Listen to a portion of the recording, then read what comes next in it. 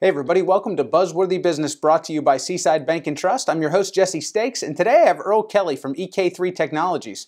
Earl, thanks so much for joining us again. Good morning. Thanks for having me. So I know we've talked about your business in the past and we know what you do, but I would like to talk a little bit about some of the things that you guys do for your customers. What are you seeing out there that are threats to small and medium-sized businesses these days?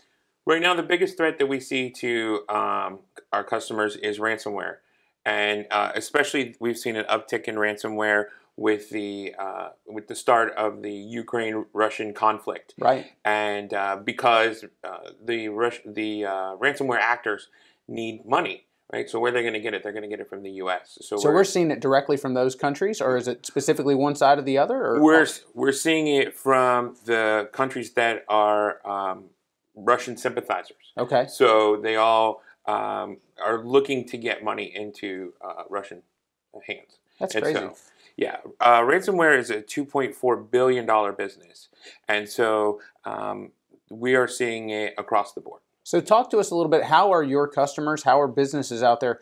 What does that look like to them? What is ransomware? What, what you know? How do the people? How do people attack their business?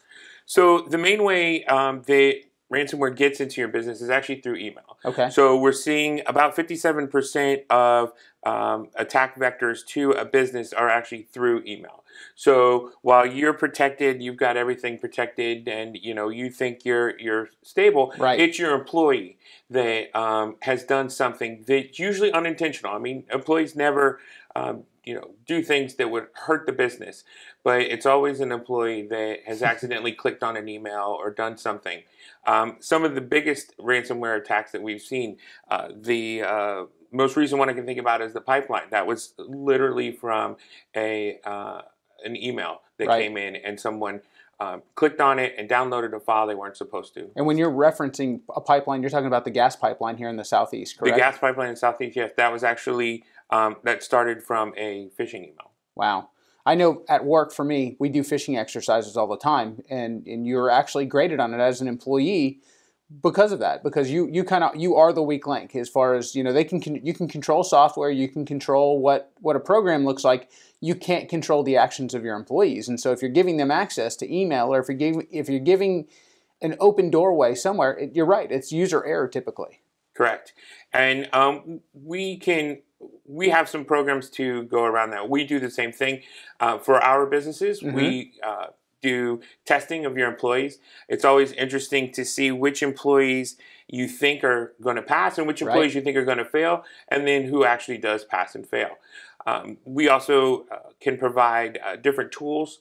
Uh, on the front end for your email, we have a tool called uh, sandboxing, okay. which will actually uh, look at all of the files that come into email. And if there's a file that doesn't recognize, maybe it's a Word doc and it has some uh, different um, coding on it that it's never seen before, it'll, it'll actually open up that file in a cloud environment, see what that file does. If that file was to do something nefarious, then it wouldn't let you into that file. So, for our business owners on the First Coast, monetarily, what does this mean to them? So monetarily, it means that um, they need to be prepared for um, a, a, ransomware attack. And so, uh, in, in fact, it's not if there's going to be a ransomware attack, it's, it's when there's going to be a ransomware attack. sure. We can do everything that we can possibly do to prevent a ransomware attack. We can also do everything we can to make the ransomware attack landing soft, mm-hmm. right? But um, there there is going to be a ransomware attack, and any IT professional who tell you, tells you there's not going to be is, is not um, telling you the truth. Well, and we talked about that off air. We talked about the fact that it's not that you can prevent a ransomware attack. It's just how how minima, how how much can you minimize the damage to that business? Correct. It's recovering from that. So my first recommendation actually is. Um, to talk to your insurance agent, and mm-hmm. uh, your insurance agent uh, has uh, ransomware policies that are available. Um, but I think it's important to understand that 60% of all businesses that are hit with ransomware that aren't prepared sure. close in the next six months right? So that's it's crazy. a, it's a I think big that bears, problem. i think that bears repeating. Yeah. So 60% of all businesses that are hit with ransomware that are not prepared will close in the next six months. Well it's a reputational damage. I mean we talk about it from a banking perspective.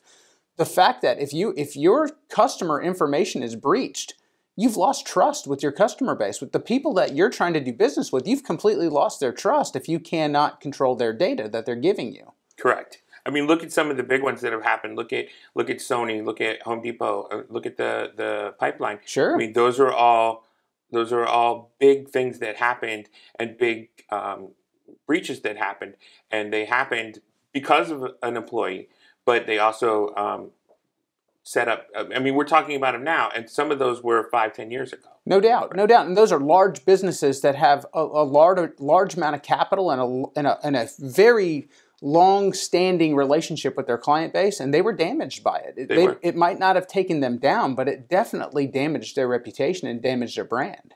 Correct. Um, and you and I were talking offline as well about um, a, a local bank here in town that's having that same problem.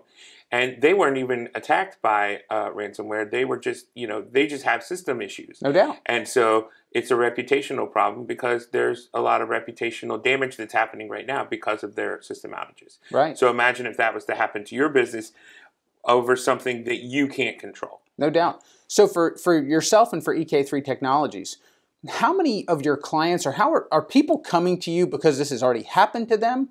Or do you see that people are being proactive and they're they're coming to you and saying, "Hey, I want to pre- prevent this from happening"? Which one are you seeing more of? Well, we're actually seeing a couple of things, which is interesting. So, um, the cybersecurity market for insurance is becoming um, super um, competitive, but it's also uh, co- become demanding. Right? Yes. So, uh, there are insurance policies out there that are paying for ransomware, and they're Okay. tired of it.